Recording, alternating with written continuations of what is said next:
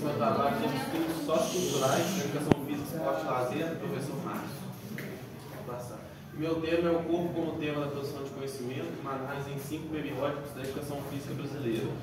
Um artigo produzido por Felipe Quintão Almeida, Ivan Gomes, Amanda Sampaio e Arielle. Marinetti.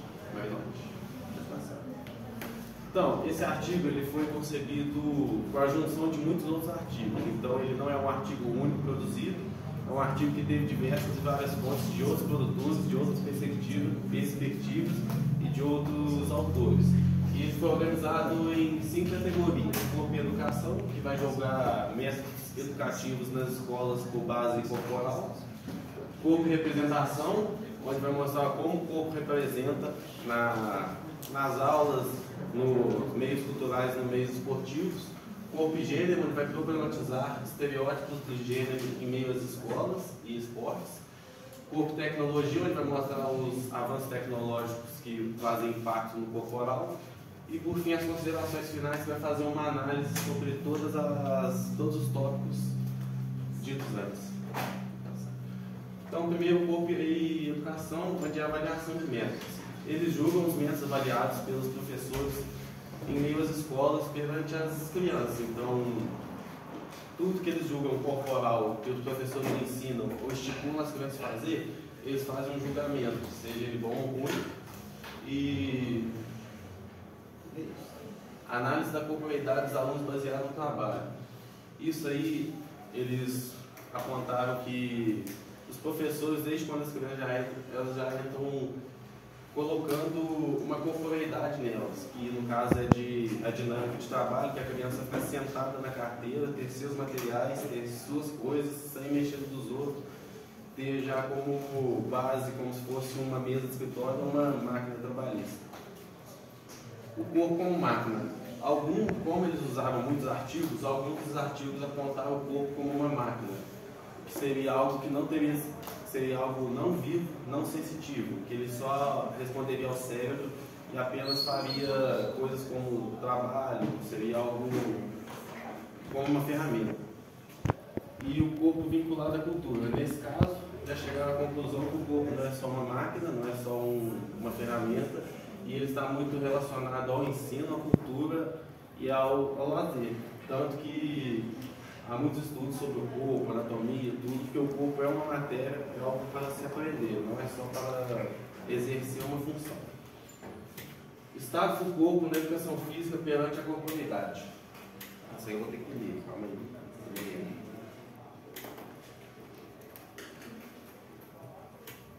Eu não falei que, que agora eles chegaram à conclusão que o corpo é um corpo vivo, que é um corpo sensitivo, que é um corpo ecológico. Então, ele sente o ambiente, ele ele sente o ambiente que ele está, ele sente onde ele está, ele sabe viver, sabe estar nesse meio. E o valor simbólico do corpo. Então, nessa parte, chegar à conclusão que o corpo representa muito mais do que, como falei ali em cima, um, método trabalhista ou como cultura. O corpo é muito mais complexo que isso, ele tem a parte cultural, tem a parte mecânica, que no caso é trabalhista, mas ele, os os autores chegaram à conclusão que o corpo merecia uma hermenêutica própria, merecia uma definição própria, que ele não pode se encaixar nem como algo somente cultural, como algo somente corporal. Pode passar. Corpo de representação. A inspiração corporal. As mídias adotam que o corpo é uma importante, um importante meio comunicativo e cultural representado, tanto que tem muitas coisas corporais hoje em dia, como teatros, como danças, é, manifestações. Então o corporal é muito, é muito valorizado na representação.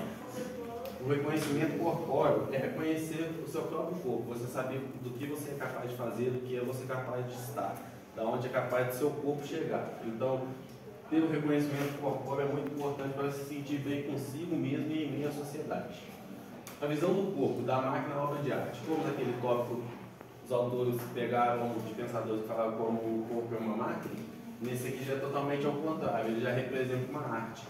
E isso é até representado nessa foto aqui, de uma escultura grega, onde o corpo é totalmente desenhado, é totalmente visto como arte. É, algo artístico, algo para se analisar, para se inspirar. As práticas corporais no psicológico.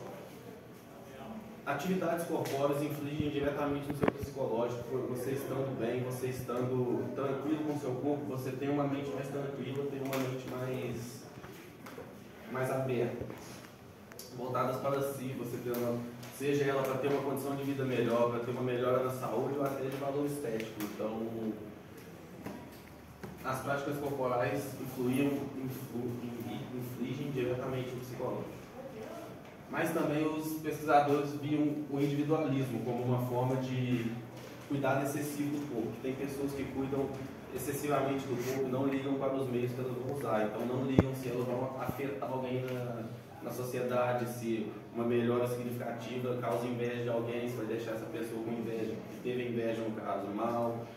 E isso acontece muito no meio dos homens, mas os pesquisadores é, apontaram que é mais ocorrente meio, no meio feminino.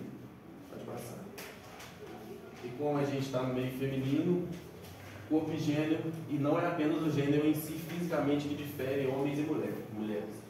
Então, não é apenas o sexo, não é apenas a classificação que a pessoa se coloca, mas sim toda uma corporeidade, toda uma corporalidade da pessoa em meio ao gênero em meio ao corpo. Então, geralmente mulheres estão mais abertas a dançar, a estar em um teatro, a mais manifestações corporais do que homem. Isso difere mais do que somente o gênero. Então, como a mulher dança, como ela representa, ela tem muito mais representatividade que os homens. Certo que tem muitos homens que têm muita representatividade nesse meio, mas as mulheres têm muito mais facilidade nessa representação. E a tônica do conceito de gênero no esportes e âmbitos escolares. Essa questão eles colocaram em pauta os estereótipos e preconceitos que já estipulam na cabeça das crianças desde o ensino fundamental, desde primário, que é onde eles falam que a, mulher é o sexo frágil, que a mulher é o sexo belo, que para ela fazer alguma coisa, alguma atividade física, alguma coisa corporal é mais pela estética, mais para se sentir bem, e para o homem é mais força, mais condicionamento, mas eles julgam não ser isso, que isso é um estereótipo estipulado por eles que tinha que, ser, que tinha que acabar. Pode passar. Corpo tecnologia. O corpo midiático. Eles exploraram que o corpo é uma importante mídia de aprendizagem. Que o corpo é, uma, é um importante meio tecnológico de se aprender muito sobre a gente, sobre a vida, sobre as pessoas. Principalmente corporal ou não corporal. E eles julgam o avanço tecnológico. Eles falam que meios não naturais de se mudar o corpo, eles não adotam, não contradizem, eles contradizem disso. Falam que não faz sentido você ter o seu corpo, ele ser seu, ser uma coisa tão linda, tão complexa e tão bonita, igual falou ali, para ser ensinado, e você querer mudar ele. Nesse caso, né, eles não falaram especificamente disso no artigo, mas fala de é, procedimentos estéticos, plásticas, anabolizando essas coisas. Então, esses são os pontos negativos do avanço tecnológico, mas ao meu ver tem muito mais pontos positivos, como implementação de próteses, que se não fosse a tecnologia, uma pessoa que não tem um braço, uma perna, não poderia se sentir mais indivíduo no meio, ela tem um, um avanço melhor. É, fisioterapia auxilia muito no, no corporal, para ajudar a recuperar e e tem as considerações finais. Como podemos ver, ao longo do, coisa, ao longo do, do artigo, teve muita divergência, muita, muita uma real pluralidade discursiva, falando sobre a, o corpo máquina e depois do corpo obra de arte. Então, a pluralidade discursiva é uma alta gama de diferentes informações, diferentes produtores, diferentes autores que ajudou para conceber um artigo e a diversidade na pesquisa, onde eles aprofundaram é, cientificamente na pesquisa, fizeram pesquisa de campo e na internet, tanto como eles usaram muitos outros artigos para apresentar. E aqui são as referências que eu usei, foi o artigo, o corpo como tema da produção de conhecimento na análise em 5 horas da educação brasileira, educação física brasileira, Movimento, que é a revista de educação física da Universidade Federal do Rio Grande do Sul, e o link do próprio site que eu utilizei para fazer a apresentação. E é isso.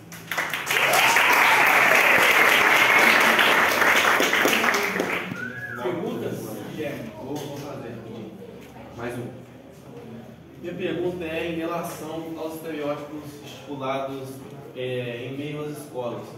Como a gente poderia fazer ou agregar para que as pessoas não estereotipem, estereotipem é, que a mulher é o sexo frágil ou somente o sexo belo, que ela só busca o auxílio da corporeidade para, para fins estéticos? Cara, é assim. Acredito eu que o estereótipo vem de casa, sabe? E aí é uma coisa mais difícil de se fazer porque é o professor contra o pai e a mãe. E é, é capaz de né, se falar ou fazer algo que os pais discordem. E aí vem, sabe, é toda uma problemática, mas é o que a gente, é o que acredita que é o, é o básico que a gente já fala aqui, né? Nos poucos momentos que a gente tem com os estudantes, é importante fazer com que eles se sintam à vontade para fazer qualquer atividade. E aí envolve a capacidade, na verdade a habilidade do professor de fazer uma aula em que todos possam se sentir à vontade de fazer atividades. Não só mulheres com sexo frágil. Isso me incomoda um pouco, sempre que a gente vai falar de gênero, é, é focar muito na mulher, sabe? Ah, a mulher é sexo frágil, a gente tem que parar com isso. Mas os homens também sofrem com isso. E eu concordo, tanto é. que eu abordei tanto que as mulheres têm muito mais proatividade na questão artística Exatamente. mais proatividade na questão Aí, social. Você vai ver o homem, a, porque o homem tem que ser a força o tempo todo, porque tem que ser inabalável o tempo, o tempo inteiro, sabe? É, porque o homem não pode ser frágil, né? E aí é uma coisa que nós, mulheres mesmo, acabamos é, espalhando, né? Não, e até querendo ou não, até vocês mesmos, por serem uma influência da sociedade, acabam estipulando esse estereótipo até sem querer. Exatamente. Então, assim, não só as mulheres sofrem com essa questão do gênero dentro da, das atividades físicas, os homens também sofrem. Os homens também sofrem muito. E aí é, a gente tem que saber lidar com ambos, ambos os problemas, né? Quando a gente está na academia levantando, né, essa moleque lá com 80 quilos, Aí você fala, pô, tenta aqui, aí chega uma moça com 150, 160, caramba. Mas enfim, você uma conversa para o outro momento. Eu quero exigir, eu quero exigir o seguinte, que na história, esse, essa ideia de mulher sexo frágil, homem né, forte, etc., ela já indica né, a, a linha ideológica e discursiva de quem adota, porque mesmo quando isso começou a ser criado, as mulheres do, é, que trabalhavam, né, ou em condições bem precárias, não, ninguém perdoava elas. Elas tinham que carregar muito peso, elas tinham que fazer muito trabalho braçal. Então, quando se fala, ah, mulher sexo frágil, está falando de qual mulher? Né, cara Você está falando de qual? Você está falando da mulher elitizada. Porque a mulher é, das camadas mais populares, ninguém perdoou ela carrega fardos de, de, de, de madeira, né, para lenha ou de é, sacos de coisa para lá e para cá, carregando dois, três filhos. Então ninguém viu, ninguém se preocupou em cuidar da sua integridade física, da sua, dos seus cuidados psíquicos. Né? Então, quando a pessoa já adota determinados termos ou determinadas expressões, já, já indica a sua é, visão de mundo, a sua ideologia. Porque na prática real, quantas e quantas mulheres trabalham na roça tiveram que carregar é muita carga. E assim como tem muitos homens hoje que não dão conta de carregar né, a, a, a carga que uma mulher carrega. Basta ver uma, uma, criança que pesa, sei lá, 15, 20 quilos, em que a mãe lá segura essa, essa criança por horas e horas a fio, você põe no colo do homem, dá 5 minutos ele fala, estou aí, leva a mãe. Então, essa ideia de força, ela precisa ser colocada no contexto. Ou vai na, na, no trabalhador de cana-de-açúcar, vê lá quantas pancadas de trabalho uma trabalhadora faz por dia e vê quantos a maior parte de nós dá conta de fazer. Então, muitos atribuem, ah, eu sou forte, então vai lá, pega no braço, na, na produção agrícola, para ver quantas horas você aguenta. Mas, enfim, não dá para discutir por causa do tempo e das outras atividades. Mas é o pontapé inicial para começarmos a passar para a segunda marcha. Né? A gente está atrelado em uma visão bastante arcaica e é preciso a gente ir, para o século XXI. Então a gente está no século XXI cronológico, mas na realidade, na mentalidade, nós estamos lá dois, três séculos atrás.